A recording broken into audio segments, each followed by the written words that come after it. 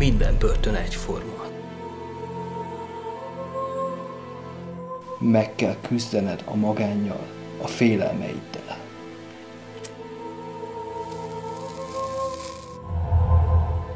De sosem gondoltam volna, hogy amit a legnehezebb lesz legyőznöm, az én saját magam.